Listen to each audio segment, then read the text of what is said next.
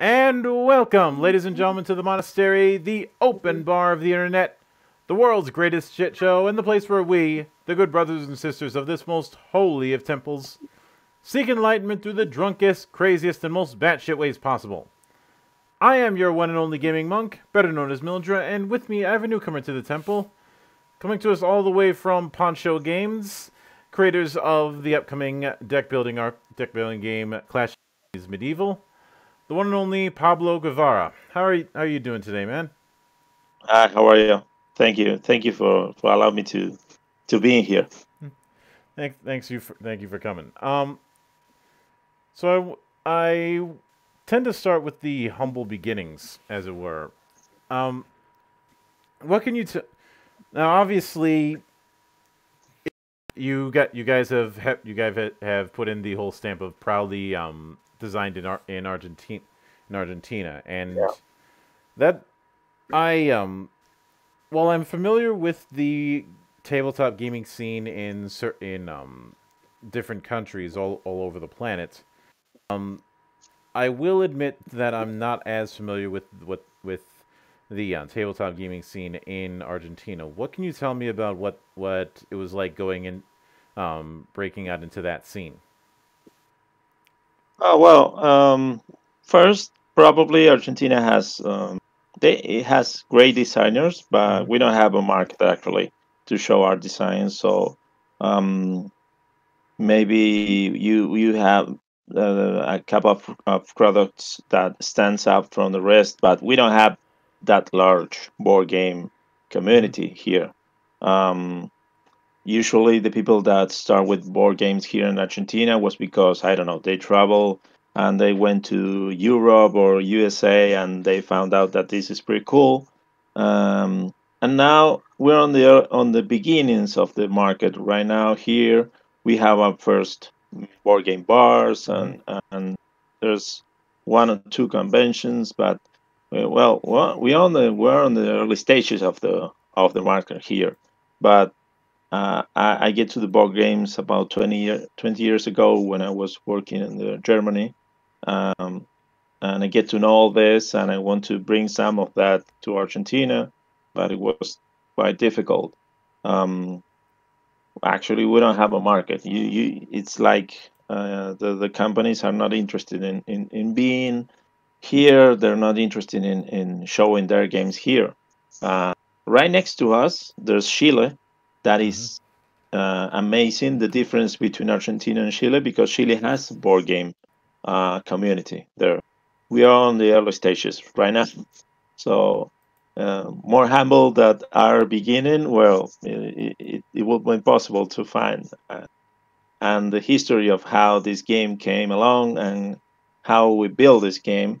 Uh, it's maybe one of the most interest, interesting thing about the game because it's not uh, like the usually history about people that it's a board game geek and they get together and they decided to move to a game uh, and then decide to create a game. Well, this one was a slight different.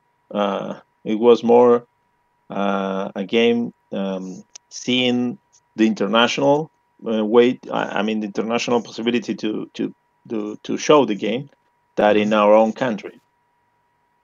Yeah. And when now you're now if I'm now if I'm not mistaken, Clash of Armies Medieval is a de- is a um deck building game. Um Yeah.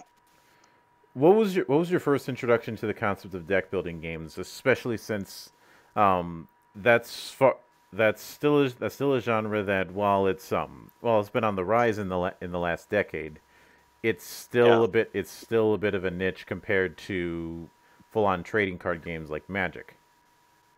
Yeah, yeah. Well, the uh, the I get to to the to the deck builders because of Dominion.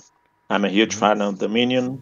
Um, I was about ten years ago, or maybe more. uh, About ten years ago, I was on a convention uh, in Germany, and the there was some guys playing their Dominion. So the first time I see that mechanic of adding more cards and making more powerful decks, uh, I mean, I fall in love immediately. hmm Um, and then when when I came back to Argentina, I get a lot of uh, copies of Dominion, a lot of expansions, and once I start playing with the game, I, I, I mean I'm a huge fan and I really love it.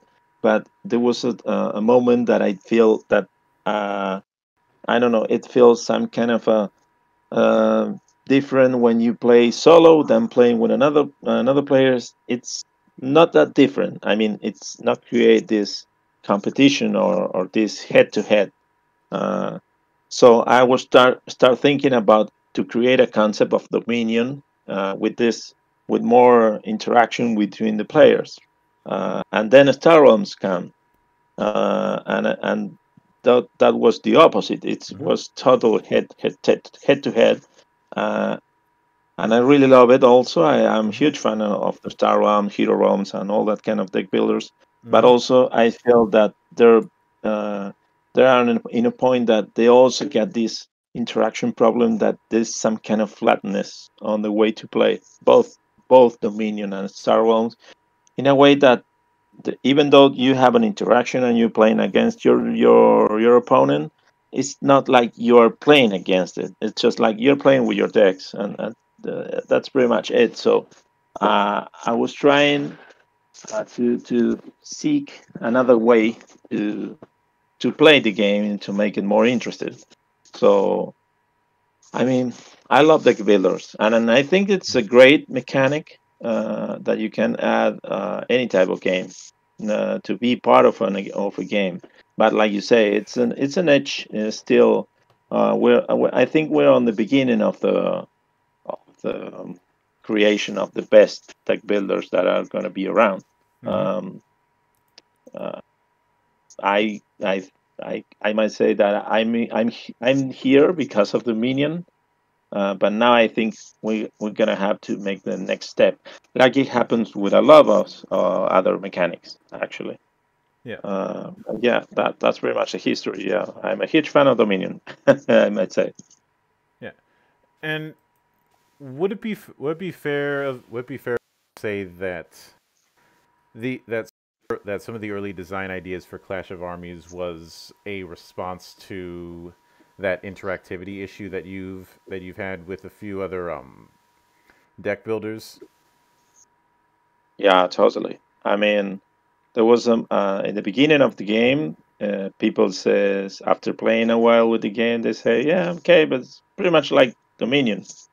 I mean, it was like uh, I didn't get the uh, that, that thing that can make me um, separate to the concept of that game. Mm-hmm. Uh, it took me a while to to get to get to the idea that I need to create something that uh, it will be different from the from the thing that I really love and that from the thing that it's already on the market. So I start thinking about some concepts and then all of a sudden the, the the the concept of having fortification and garrison and defense and attack mm-hmm.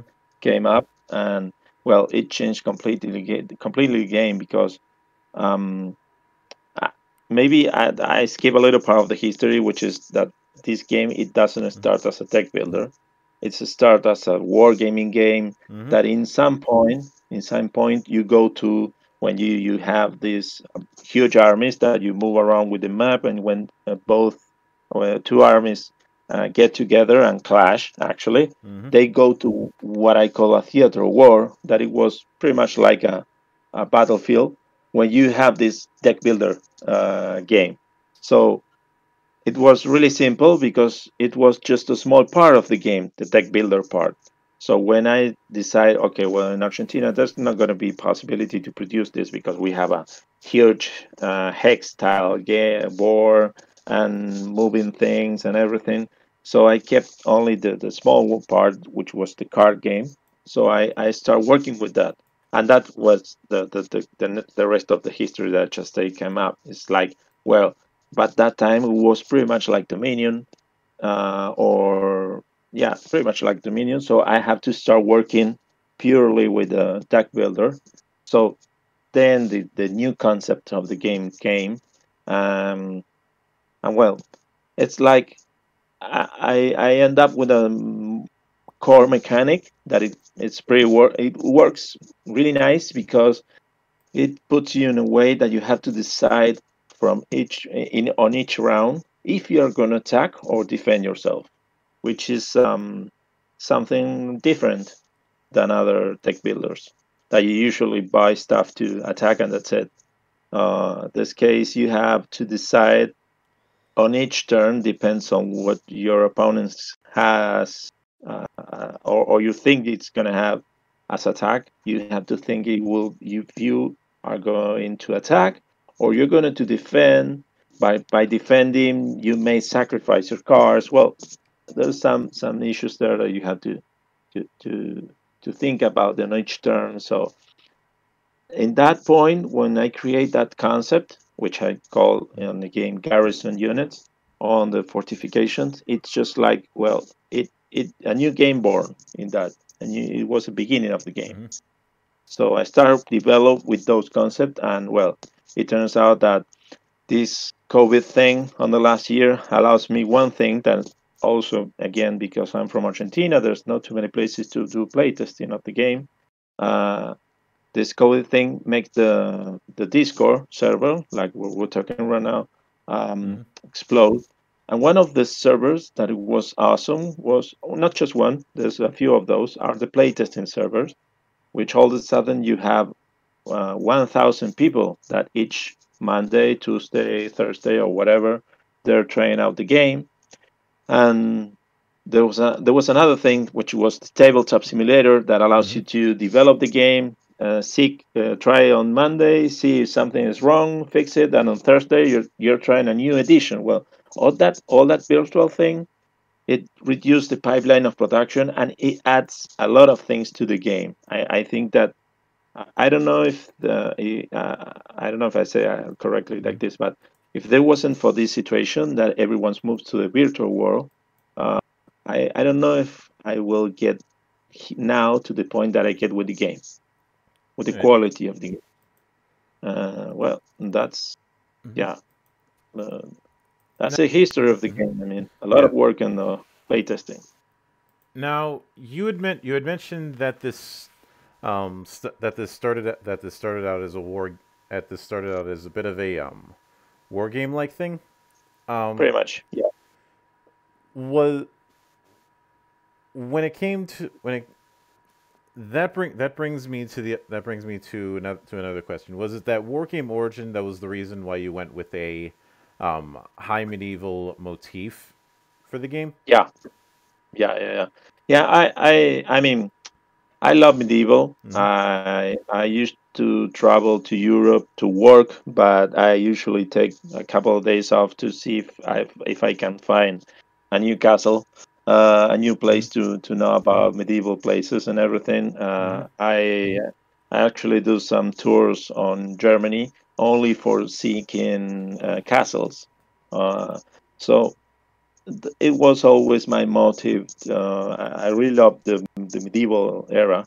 Um, and when I create this war game, this war game, uh, yeah, the medieval can write it right immediately. I mean, I have two eras that I really love about war games, which one is the medieval one and the other one is the Napoleonic Wars. So those are for me the the the, the, the niche you could say mm-hmm. that I'm in, I'm really interested in. Uh, yeah, medieval is what I like most. Yeah, and given now given that given that with these with the um setup that you have that you have now you mentioned the whole thing with the whole thing with garrisons, but what else in particular would you say that you that um that you had tr- that you had tried to do to make sure that you didn't fall into the trap of oh this is like Dominion that you had mentioned um, beforehand? Well, the first one was uh, to consider the game not being uh, sing uh, I mean, not consider the game as a single game. Not even if you mm-hmm. play with 12 players, like you can play on Dominion, it's always a single game. I mean, you have some interactions with your opponent, but it's not that much. I mean, you mm-hmm. can put some cards in there and that's it. Um, I think that what I tried to keep always outside from the Dominion concept was that was to having this head to head or face to face interaction with the other players. Mm-hmm. Uh, not to not to consider as much as yourself on the game, but consider your army against someone else. Uh, I mean, on Dominion, you have the concept of you you want to build yourself the biggest, uh, well, the biggest kingdom in a way. Uh, but in in this game, you, what you're trying to do is to get the best, not the the biggest, the best army to uh, confront your opponent. Mm-hmm. So that gives you, uh, well, there was some reviewer that also said on some review that I saw that one of the things that I really like about the game that also hate about other deck builders is that they used to get a lot of cards um, and you end up with huge decks. Well, in this case, you will not end up with a huge deck. You will you start with 10 decks. Mm-hmm. Well, I'm sorry, we start with 10 cards, and you probably when we, you will end up with 15, 17 that they're not going to be the same one as the first 10 because all the, the, the idea of each turn is to get a more option uh, more optic uh, optimal uh, mm-hmm. card so i think that this concept of not having the largest but having the best is what stands from from stands away actually stays away from dominion. Yep. Now when it comes now when it comes to the, when it comes to that head to headness, um, now I'm get now with with some with plenty of deck building games they they kind of do an inbuilt um, assumption that you that you can go with a larger amount of people at the table. But in your case, you're going strictly with a two player setup. Um, was that a was that a deliberate choice to ensure to ensure that head that head to headness with the game? Well, yeah, in the beginning it was a, a two players game, um, and it's still a, a two player game.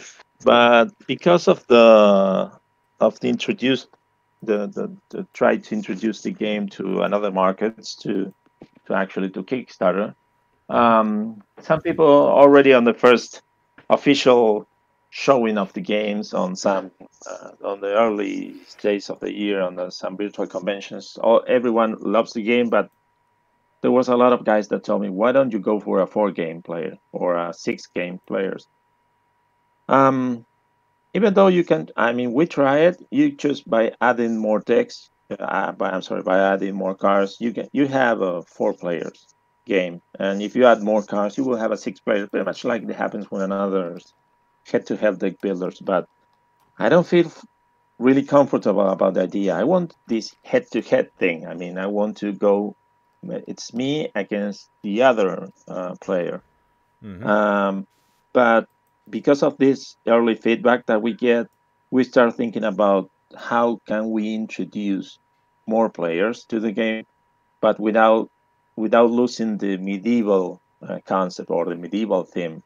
So mm-hmm. we end up we came up with uh, with uh, new cars that allows you to play up to four players, mm-hmm. but not not in re- not in a regular way that you will see on another players. I mean, this game, uh, the four player that I, I, mean we're testing right now uh, are we. It's going to be part of the stretch goals of the Kickstarter. Mm-hmm. Uh, one of the things one of the things about these four players or, or three to I mean three and four players what we are adding. Um, is that you start all against each other, like in the regular game, but in the middle of the game, you will have some new phase, which is a diplomatic and economic phase, mm-hmm. that you will have some cards to deal diplomacy and economic against another players. So you may end up with uh, temporary agreements not to attack between some players, uh, mm-hmm. or there's some then some other agreements like bloodline agreement that you will uh, well, in the middle of the game, decide who is going to be your partner to, for the rest of the game.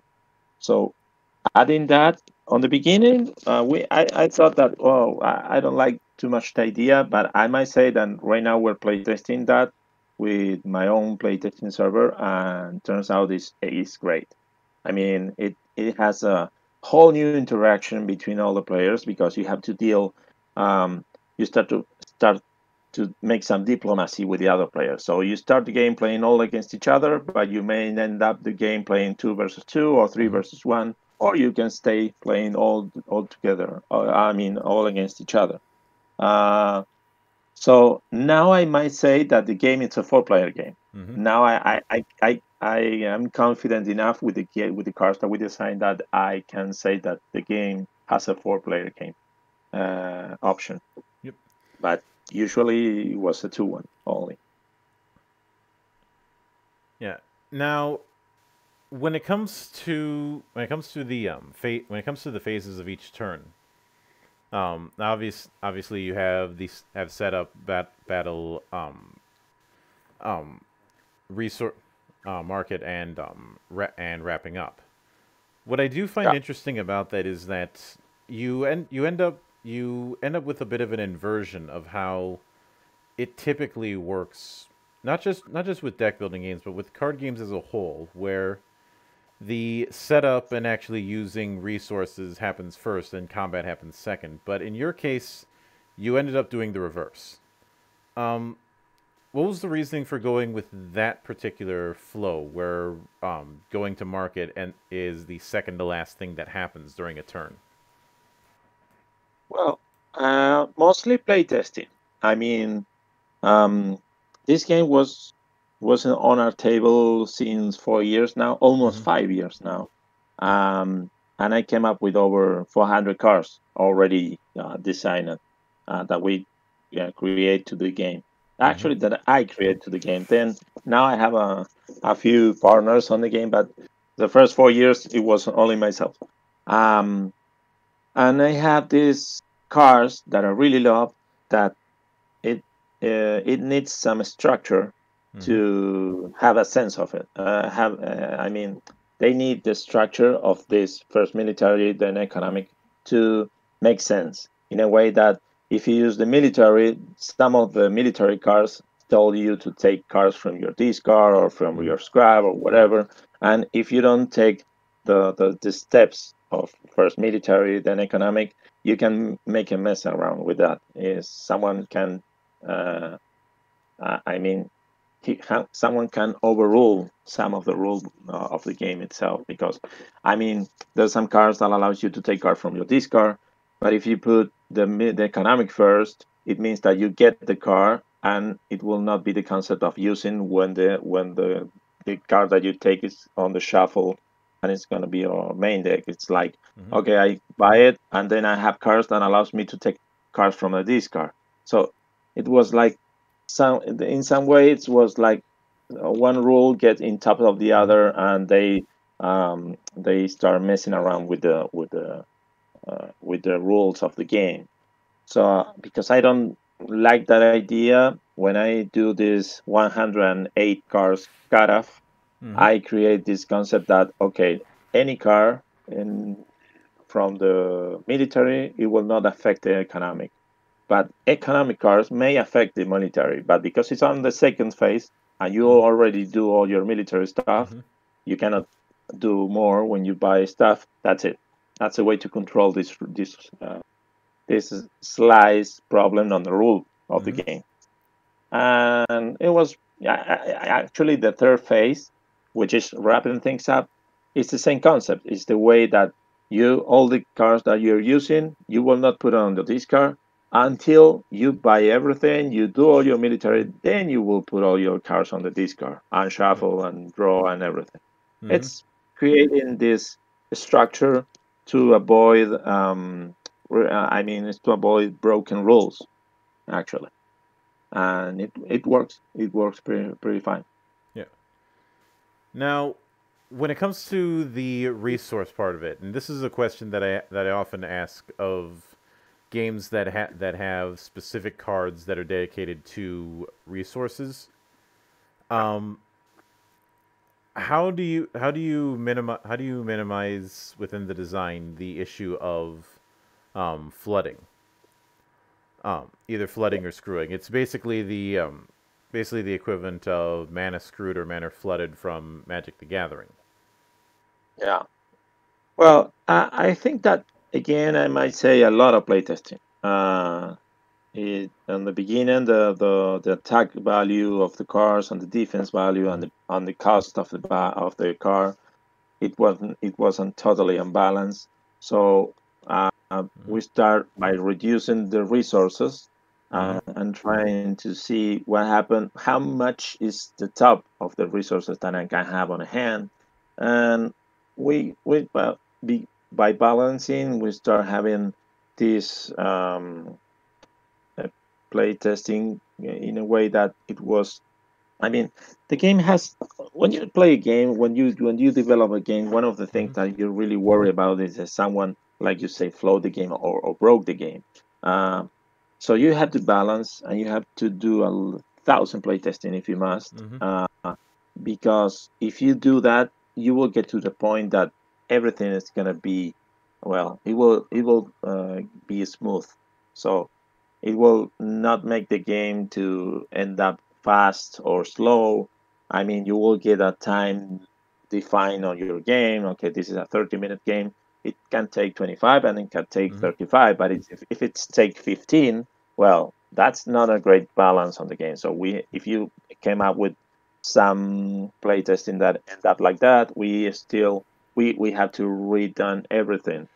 So mm, the the thing is that uh, I think that I have an advantage that mm-hmm. not just me, all the designers right now having an advantage that probably I don't know Vaccarino when he designed uh, other on his time the, the the game doesn't have, which was the immediately playtesting. Mm-hmm. I mean, I can do a game, see a problem on one car, go to my software, make a modify, put it on the tabletop, and we try it again with new balance all that thing it makes the game really really um, smooth in a way that it, all the, the numbers that are down there are, quite balanced actually there so you will not feel that you will not have that feeling that oh yeah there's too much resource or there's not too many.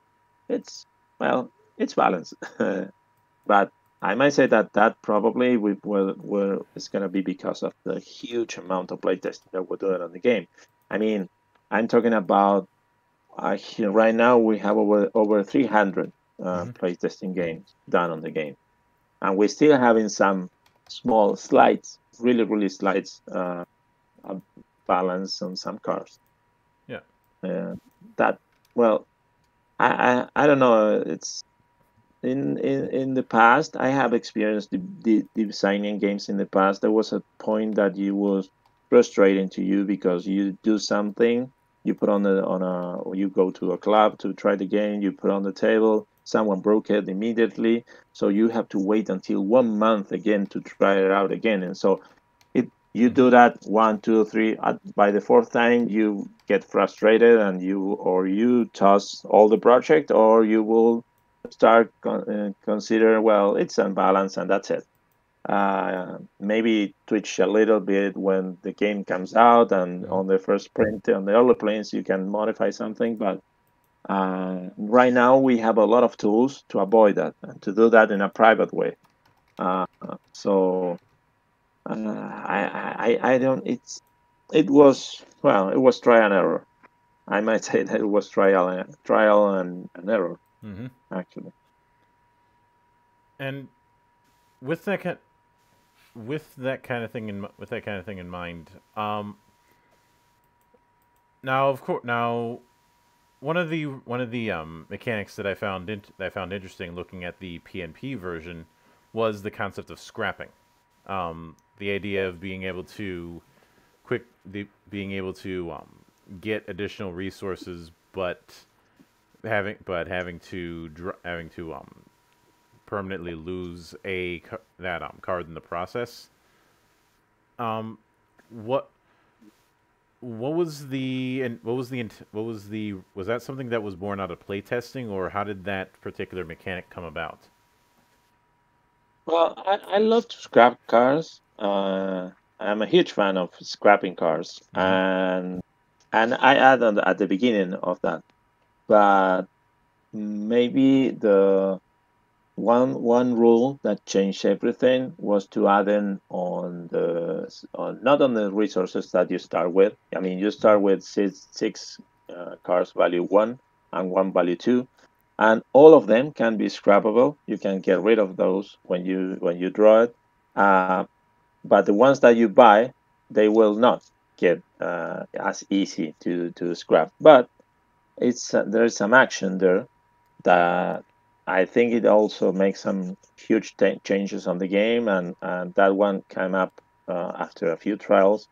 That is allows you to make some removes uh, when you draw these these resources that you can buy. That allows mm-hmm. you to remove cards from the market uh, for your convenience because the game has all this structure like you're playing it's your turn you do your three phases after mm-hmm. if you buy some some part of the market there's some part of the market that it's a pile it's a deck so when you take one there's going to be one uh, right next down there available but there's some other that it's fed from from a deck mm-hmm. and when you took some of those cards you have to wait until the end of the turn to refill that uh, so the cards that are going to refill the market are going to be available for your for the next player, not for you. So I add on the on the on the resources. I add I add this action that it was already done on, a, on one of the cars that is called the merchant. Uh, that allows you to remove part of the market with your beneficial. So you remove, and then what it came, you would decide if it's good for you or not. Uh, all that, yeah, probably. I mean, the, the, there was in the beginning of the game there was a lot of scrapping options, but I I think that everything start to to uh, every every piece of the puzzles try to to get together when I add that on the resources. Mm-hmm. Uh, so I, it feels right. It feels right because it allows you to scrap everything. You will start with well, you don't play with the 108 cars. You play mm-hmm. with uh, with actually you play with 86 cars, uh, and you will see that probably in nine of each ten of each of each ten games that you're playing with, you're gonna scrap almost all the cars from the market. Yeah, because there's a lot of scrapping, and that scrapping thing uh, changed a lot of strategy on the game, and by uh, yeah, I I on the beginning of the game I only have one two cars that do that do that.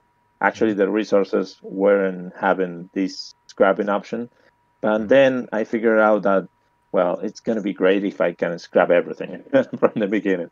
So I start playtesting with that, and it turns out awesome. That's what most people like about the game, not to having 50 cars on your deck, by having 18, 19, they're really optional and re- they're they're really optimal to, to do the attack.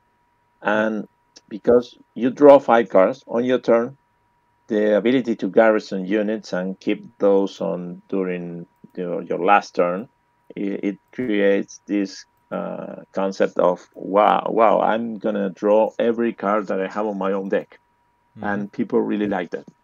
People really really love that. Uh, and the, yeah.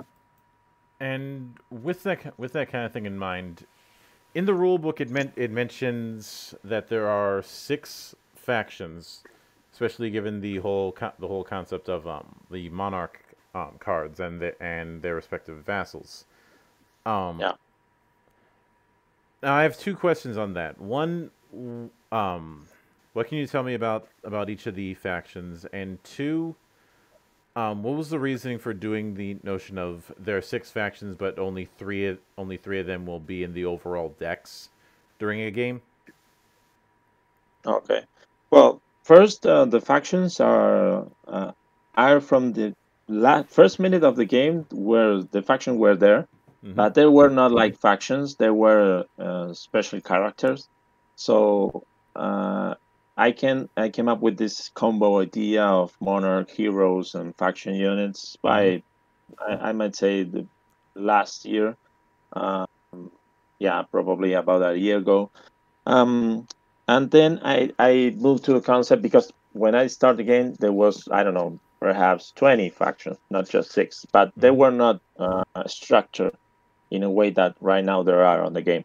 So when I came up with this concept, okay, it would be great because uh, one of the things that I, I felt is that when you start building the deck, you, you don't feel any um, you don't feel that you're going to be part of, of something. You're just going to buy such units, soldiers, mm-hmm. and train, I don't know, fortifications, and that's it. So it was like, oh, yeah, I have a hero, I, I don't know, Joan of Arc, which was one of the first heroes that I have. Yeah, okay. But it was just a hero. Doesn't mean that she represents a, a country or some or something. So after a while, uh, I, I started thinking about this. Why not to have this sense of uh, of uh, being part of a faction. So why don't you have a monarch, for example? Mm-hmm. Uh, and then uh, it happens this uh, vassal monarch thing that everyone loves because it's not that usual. The monarch is the only card that you will not put on the discard. Like the rest of the card you're gonna buy, you're gonna put it on the discard, but not the monarch. The monarch it will remain in the table, so it will become your faction monarch. It's gonna be, I mean, it's like saying, okay, you're taking, for example, I don't know, Richard the Lionheart, which is the, the English faction, mm-hmm. and you put it there, boom, you are an English guy. So you have to you, you have to start thinking about getting more units from that guy because the combination is going to be what makes you stronger. So uh, that the idea of having the king there say, okay, but the king it's powerful, but it's not that powerful. Then the vassal come out, and okay, I'm gonna take this vassal and put on my discard. So when the vassal comes out, it means that the, the not just the, the, the king passive action as being an English king that allows you to uh, uh, unlock the faction actions from the other cards, but also it's a powerful unit there. So, I mean, everything started to making sense. The six factions, I started to decide to, to, to say, okay, I'm going to put six factions there. So I put the Germanics ones, the Arabic ones, the French, the English. I put the Spanish, and I put a sixth one, which I love because of the concept, which was the the Camelot faction. It's not a real one, but I don't know. I like it. I love it. so I came up with these factions, six factions. They're still not being um, uh, symmetric in the amount of cards that each faction has by that time. But then I decide, okay, I have to to decide what I'm going to do. So I start to seek real information about uh, those six uh, nations, or I don't know, it's not nations because uh, there was a time when there was not a flag with um, a representation of a flag. There was a, like a, um, uh, well, it's difficult to explain, but for example, the Germanics, they're, they're Germanics. They're not from Germany. They're from Germanics, which means they're from Germany, for Switzerland, the people that together have the same uh, essence, the same concept. So I start sing, uh, seeking on, of each one. Okay, what what kind of unit can I put there? So I came up with this idea of having one monarch, one hero at least, and two faction units. So I start seeking for the French and say, okay, well, the French knights or the chevalier, right now they're calling chevalier, are pretty nice. Um, what other type of unit they have? Well, they have the Bougier. Okay, I, I added it. And that's how I start building the six factions. So this was like when the game started, there was no monarch and there was no hero. There were just um, uh, famous or not notable characters, Saladin, uh, Joan of Arc, William Wallace, but they don't have this um, mm-hmm. sense of being part of one faction. You know mm-hmm. what I mean? Yeah.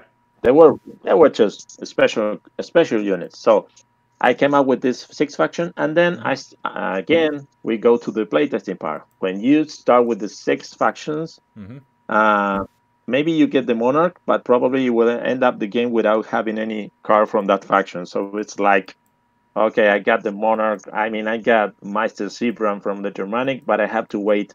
There's six of each cards from the faction, so uh, six by six is a it's a 36 deck mm-hmm. if I put all there. So it's like okay, I have one. I have to wait one between those 35 to come out, so I can do that powerful combination between monarch and and faction. And well, playtesting again. We start with six, we reduce by five, still having this problem that you get one, but it's difficult to get the other one. And by the one we choose to play with four, it's beginning to work like okay, and with three, it works awesome. so it works pretty nice in a way that you will probably have your king or your hero, and you're probably gonna get some faction from that hero or that uh, monarch. So you will end up with at least two or three units from a faction. Uh, that's why we kept three, and there was a bonus on that, which is replayability. People think that one of the great greatest thing about the game is that you can start, start uh, uh, play one game with three factions, and then you decide to move to another three. Uh, so the, the, it changed completely the game. So with that concept, I start switching a little bit the cards to put some emphasis on one or another point of uh, uh, another point of view. I mean, there's two factions that are really powerful with the high attack level. The others that are really high defensive powers. There's some others that have a great uh, ability because they allow you to get more money. And there's another ones that allow that are balanced between them. So I create this asymmetric concept that each faction, even though they have the same structure, about six cars, one monarch, one hero, one Camelot faction has two, but the rest of them have one hero. It's pretty much um, the same concept on each faction, but they feel totally different, each of those, because of those actions that they have. Uh, that's that's how I mm-hmm. came up with the factions and and how and why we use three. Yeah. Um. And when it comes when it comes to when it comes to when it comes to the whole the um whole some when it comes to some of the concepts with within the um, faction setup, did you was was there ever an intent to try and make it so that each of the faction kind of leans towards a certain play style? Yeah. Uh, when I start with when I I have this okay we have six faction concept. Uh, well we're gonna put some style on it. So when you play the game a few times, you will end up being uh, lean to one faction than uh, another. It's actually how you play the game. If you are a defensive guy or a, or a, an attacker, a pure attacker guy, you're gonna uh, choose one of the other of the factions. Yeah, yeah, I, I get that. I I get to the point that I want to do that in a way, and also consider a little history on, on the on the cards and a little background on what type of uh, unit it's on the faction uh, on the faction deck. I mean, uh, the, the the units from Spain are not powerful because on the on the on the real life they were not really really powerful units, but they're considered a greater defender of castles so they have a, a great defense value. Uh, so all that concept uh, leans you to decide to one faction or the other. Uh, and the, they, they, they have this own character, each of those. Mm-hmm. And when it com- when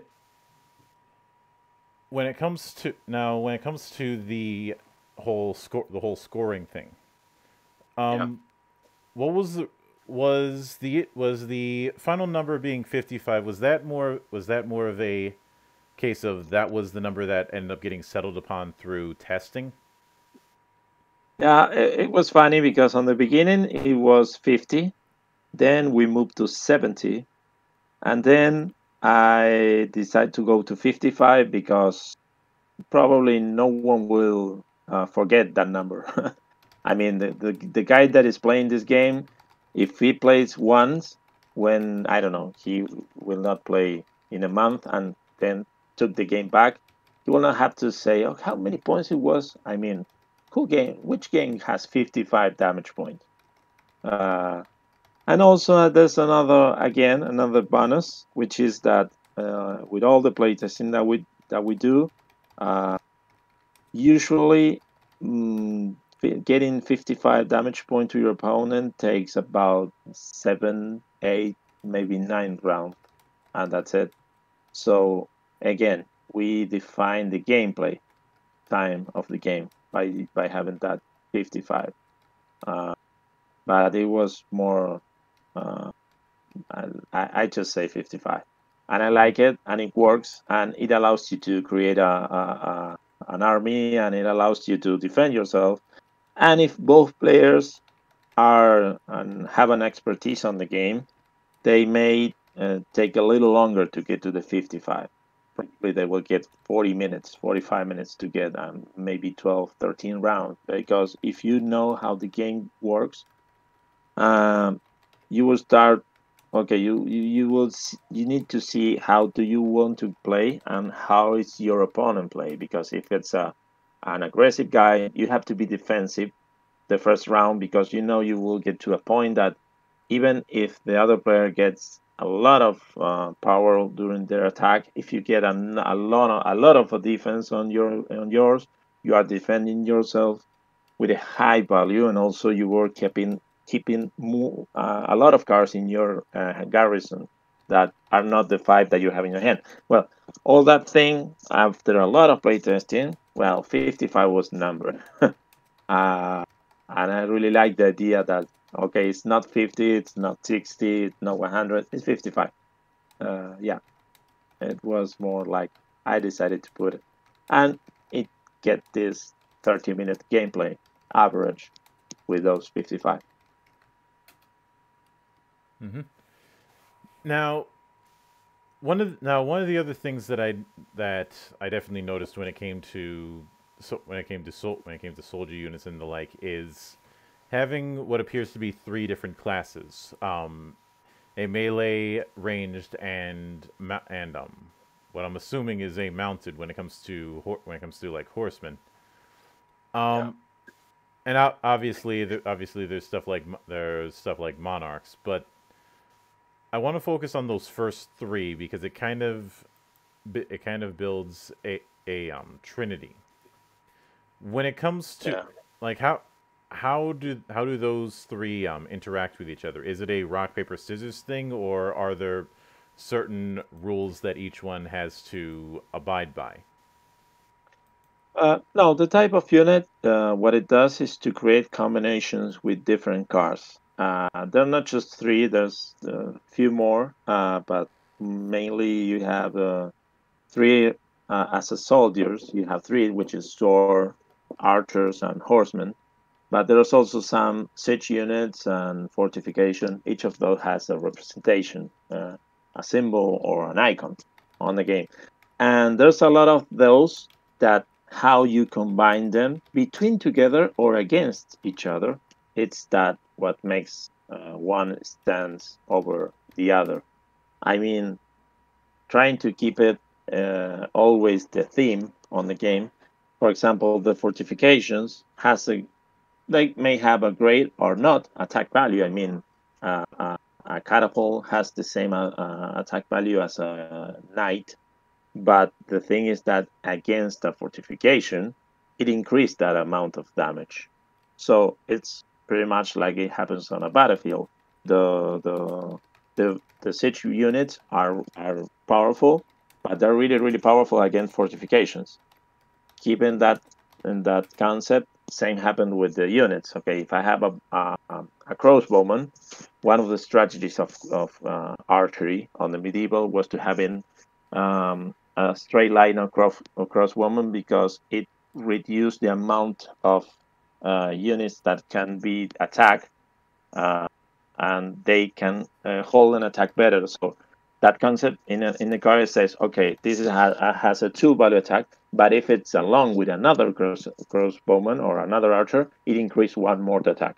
So those combinations, uh, you, you you will use the, the the different type of units by those combinations. So yeah. Some are powerful or not. Actually, there's maybe some weak. Uh, if there's one type of, I mean, for example, if you have the Monarch, Richard, the Lionheart, and you are on the table, he has a passive action that it avoids the attack of one siege unit. So if you have a siege unit, it's awesome. But if you if the other player has this king, well, it's not that great. so this it's pretty much combinations. There's no rock paper scissors thing. I mean, the, the one is not going to win the other one because it's a type of unit, but it's going to be more powerful because of the combination of the type of unit. Mm-hmm. Now, now, when it comes, now when it comes, one other thing that I was that I was curious about, especially given the, he, especially given the head-to-head. Yeah. Is the is um the concept of reversals.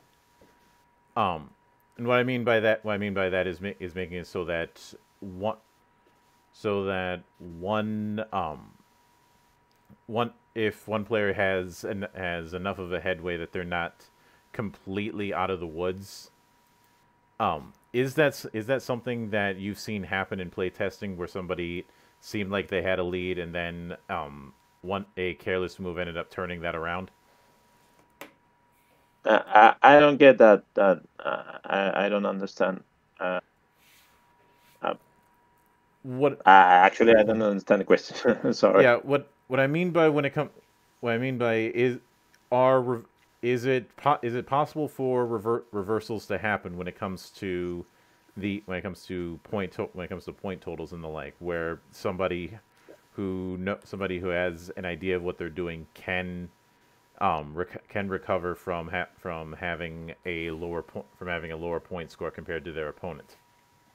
Oh well, yeah, yeah. If you know what you're doing, Mhm. I mean, probably you will not get that on the first two or three times that you play the game. But um, if you're not what you're doing, um, even though there's some luck on the game because the the, the, the card has to be drawn to, I, I'm, I'm sorry, has to be refilled on the market to to have an opportunity to buy them.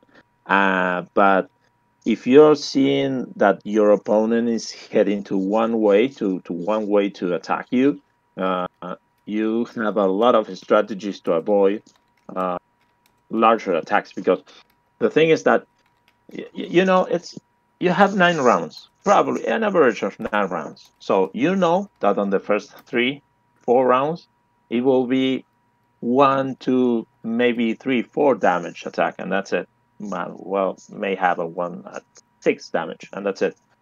So you know that by the sixth seventh round if you don't do the things right, you probably going to receive attacks from your opponent from mm-hmm. 20, 25, 30 points. So if you're seeing that uh, how do your opponent is combining the cards, uh, you have to start thinking about in a way they say, okay, I'm going to be more aggressive and let's do this clash head to head. Okay, you're you're hitting me with 20 with 20 when I try will try to hit it with 25. Um, that's one of the strategies to go right straight to the i mean knock the heads out uh, between both players or you may say no i will get to my i will get more defense. I will create more defense structure. And because this the game has two ways to defend yourself uh, that people really love loves that is that depends of the cards that you're dealing in the marketplace it's your decision to say i'm going to try to be more stronger than my opponent. Once you know all the cards that are around, uh, you have this beautiful scrapping option Mhm. that allows you to do some strategy, not just for uh, for for buying cars, but also to avoid your opponent to buy cars. Yesterday, for example, we are playing with a guy that I I didn't have any hero or or or monarch from my faction from from the Germanics, but as soon as I begin the game, I start building I start buying uh, the faction unit from the Germanic, hoping that maybe the king or the hero come up and I can do that combination of that combo that make more powerful my deck. So it was a point because the other player doesn't know uh, anything. He was uh, was the first try of the game. There was a, a point that the monarch of my faction came came out, and he has the option to remove it from the table, and that will make me my strategy to fall off and the, he will get even though we were having this high difference of numbers i was about 45 points and he was 20 uh, but he did he didn't do that decision so i kept going with my my main strategy and i win but if he by that time decided to remove that monarch and allows me avoid to to to me to get it well, probably he will win the game. Mm. That's how sensitive the the, the, the cars are. Uh, so it's really really uh, a decision because uh, there's some decisions that you can take during the game that it may change this, the, the the whole concept of the game. Um, and it allows you to be the defender and all of a sudden become the attacker mm-hmm. because you do some uh, switches in your deck that allows you to be more powerful in just two rounds. Uh, if you know all the cards, you can do that easily. Yeah. So yeah, the, the there's a there was a game the other night that I, I was losing by 30 points. He the other player was 42 and I was 12, and I ended up winning it because I start with the concept. Okay, uh, I cannot go straight to attack. I'm gonna defend myself. So I get rid of uh, small fortifications to get the biggest one. So all of a sudden he has a huge level of attack. He has a 20, 21, but I have a huge level of defense. So if you know how the game works, well, if you avoid being attacked, is more important that that uh, actually attack yourself. So yeah, you can change a strategy during the game. you can do it a lot actually. Mm-hmm. And with the, taking that taking that into account, now I know that there I know that there was that whole accidental six six minute um lot live yeah. of the live of the Kickstarter for Clash of Armies, but you guys, unless I'm mistaken, you guys are planning on launching the Kickstarter properly on November 10th. Am I correct? Yeah, correct. Um, how how long do you see that going? Do you do you plan on having that go for 28 days, 30 days, or 60 days? No, no we're going for the 30. We're going for the 30 days. Yeah. I I I think that we need that. Uh, well, it was a bad thing what happened with the missed lunch that we have, but there was a point about a, a, few months ago that we decided to put this this date to start with the game because it's like uh, well it's uh, we do a lot of steps on the game mm-hmm. uh, probably we were in a regular world where nothing happens and everyone uh, trying to get together and i can have the opportunity to show the game uh, to, in conference and everything well, we we probably will hold the the, the, the, the Kickstarter at least to, to next year. But we came up with the game that it's already done. I mean, the game, the art of on the game, it's all for the game and it's all done. So it likes well, what we thought that it will take a whole year because of of this COVID thing is the the artists have less jobs uh, they have less uh, commissions from from another uh, of their customers, so they start working a lot with the game. So we by May, maybe by June, we already have the game done. So it was like, okay, we have the game done. We're gonna wait until one year to release the game because of this thing. We're not we're not doing by by June. We wouldn't know if next year we're gonna be available to show the game or not. So we put it as a date. Mm-hmm. Uh, we say, okay, let's let's launch October. Uh, let's launch after Essen Spiel because we're going to be part of the. At that time, we expect to be part of the Essen Spiel. We, we were, but it was that was another issue. Mm-hmm. Um, so we put that date, and we want to do. We, we want to have the, the experience to launch. Uh, uh, I think the game has a great concept in it. Uh, I hope the, the it will the people that that that sees the game find that they might be interested to play along with it. Uh, yeah, uh, the, the the date is gonna be 10 November 10. And it's gonna last 30 days. Yeah. All right, all right, and I'll def I'll definitely be be um keeping an eye on keep an eye on that. Um, when it comes to that when it comes to that Kickstarter, as, as do you do you plan on do you plan on having the Kickstarter for um for both a print and for both a print and play and physical version, or is this mainly going to be for a physical version of Clash of Armies? No, no, we're gonna. Uh, there's gonna be available a print and play edition. I mean, there's an uh, there's a free one that is around uh, that you can actually play with the game. It came with only three factions, uh, but the thing is that we are uh, we redone all the, the, the graphic design of, of the car. We kept the, the the same design by now because we're playtesting with it, but for the physical game, for the, the copy of the game, it's gonna be different cars. I think they're way better. They have a better icon uh, identification now of the attacks and defense and everything. And the print and play edition, so if someone there was there's going to be a pledge level of print and play edition, and with the thing that the the physical world, the physical game is going to be available in English and in Spanish, but the print and play edition is going to be available in nine languages. Um, this game has this collaborative concept. Uh, maybe two minute history. I, I have a friend from Germany. Last year allows me to show this game on Essen. I was heading to Germany because I have to work there for another thing for my real lifetime job. Mm-hmm. So uh, because it was only five days away from the Essen, I, I stay there, uh, take my days off, and I show the game in, in the in his booth. He's a miniature painting guy, um, so he allows me this table to, to show the game, and a lot of people play with the game and really like it. So I came to Argentina, and I decided to go for it. By that time, the the, the media of the game, the, the art of the game, was all stolen from the internet. Uh, so I post, uh, uh, um, I create a gameplay of the game, mm-hmm. and I post on a Facebook group. Okay, I have this idea, and three artists join me, but they join me not as commission. They join me as a partners. They create all this art because they want to get involved of the of the board game because they weren't they were not artists from the board game uh, world. They artists from media, journalists, and and everything else. So they want to get into the, the, the, the board game market and decided to go for it and, and they mm-hmm. decided to be partners for me.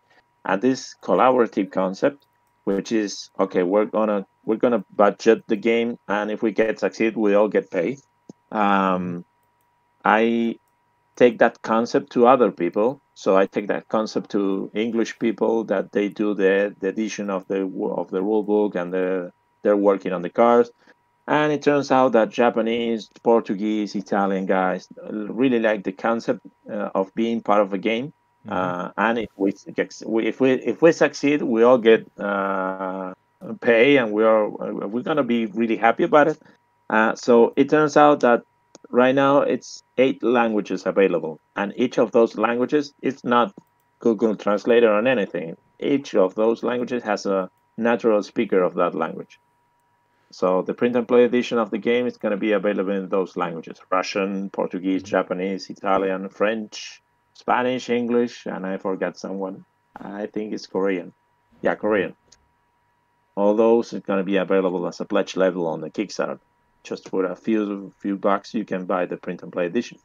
Mm-hmm. And I, I will, like I said, I will definitely be looking forward to seeing how that develops.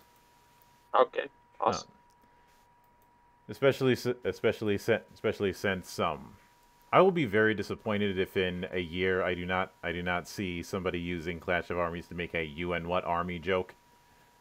oh, well, that would be awesome. I don't think I don't know if it's gonna happen, but that would be awesome. if if worse um, comes to worse, I'll just I'll just end up using the old adage of if you need, if you want to get something done, you got to do it yourself. yeah, um, yeah, I think so. But with that in mind, I do want to sincerely thank you for taking the time to come out to come come all the way up to the temple and brave the hell that is time zones. Yeah. Well, I, I, I thank you so much for, for giving me the opportunity to to well talk about the game a little bit. Mm-hmm. Uh, that yeah, usually uh, I'm usually playing it and and speaking about. Uh, it's also awesome to, to speak about because it reminds you all the path that you took to to get to this point. So, mm-hmm. yeah, thank you so much. My pleasure. And of course, anytime you see fit to return, the door is always open. Okay, thank you. Thank you for that. Yep. And last but certainly not least, a sincere thanks to everybody who took the time to enjoy the show and the madness that follows. And there'll be more madness where that came from, as there always is here on the open bar of the internet. But until then, on behalf of the good brothers present and not present, my name is Mildra. I am your gaming monk. Stay fucking frosty, everybody.